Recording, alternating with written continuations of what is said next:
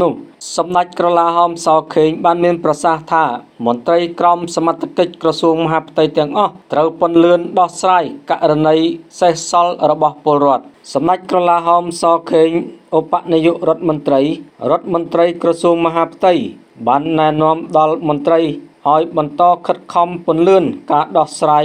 រាល់បញ្ហា និងករណីសេសសល់របស់ប្រជាពលរដ្ឋដែលសំណូមព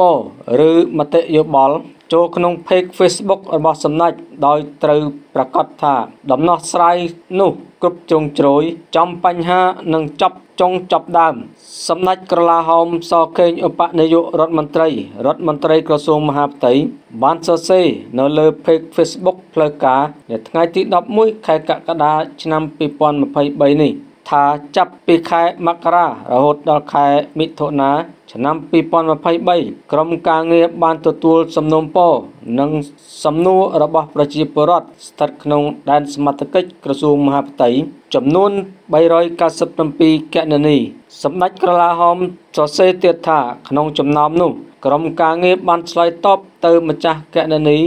និងដោះស្រាយបានចំនួន132កណនីនិងកំពុងដោះស្រាយចំនួន181កណនីទន្ទឹមនឹងនេះចំពោះករណីមួយចំនួនទៀតដែលក្រុមការងារនិងភាគីពាក់ព័ន្ធនៅមិនទាន់បានដោះស្រាយចប់សពគ្រប់អាស្រ័យលើករណីខ្លះទាមទារពេលវេលា និងអនុវត្តទៅតាមនីតិវិធី សម្ដេចក្រឡាហោមសរសេរបន្តទៀតថាបើគិតពីខែកក្កដាឆ្នាំ2020 ដល់ខែមិថុនាឆ្នាំ2023ក្រុមការងារបានទទួលមតិយោបល់សំណើសំណូមពរនិងបញ្ហានានា ចំនួន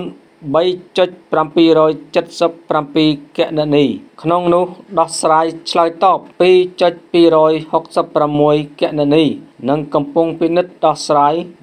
455កណនីសម្ដេចក្រឡាហោមសខេងបានបញ្ជាក់ថាវឌ្ឍនភាពជាបន្តបន្ទាប់នៃការងារនេះអាចសម្រេចបានក៏ដោយសារមានកិច្ចខិតខំប្រឹងប្រែងនិងការសហការគ្នាដ៏ល្អរវាងថ្នាក់ដឹកនាំនិងមន្ត្រីស្ថិតក្នុងដែនសមត្ថកិច្ចក្រសួងមហាផ្ទៃទាំងថ្នាក់ជាតិនិងថ្នាក់ក្រោមជាតិនិងក្រុមការងារគេហទំព័រ Facebook របស់ខ្ញុំជាមួយគ្នានេះសម្ដេចក្រឡាហោមក៏ស្នើសុំការយល់យោគអធិស្ឋានពីបងប្អូនជនរួមជាតិចំពោះករណីមួយចំនួនទៀតដែលក្រុមការងារនិងភាគីពាក់ព័ន្ធនៅមិនទាន់បានដោះស្រាយចប់សពគ្រប់ដោយអាស្រ័យលើករណីខ្លះទាមទារពេលវេលានិងអនុវត្តទៅតាមនីតិវិធី សម្ដេចក្រឡាហោមសខេងក៏បានណែនាំឲ្យថ្នាក់ដឹកនាំនិងមន្ត្រីក្រមសមត្ថកិច្ចក្រសួងមហាផ្ទៃទាំងអស់បន្តខិតខំពន្លឿនការដោះស្រាយករណីនៅសេសសល់សម្ដេចក្រឡាហោមសង្កត់ធ្ងន់ថា